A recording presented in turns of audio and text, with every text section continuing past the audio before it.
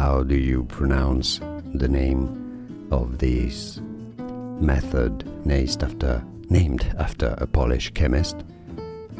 Czochralski, Czochralski method, Czochralski, Czochralski method.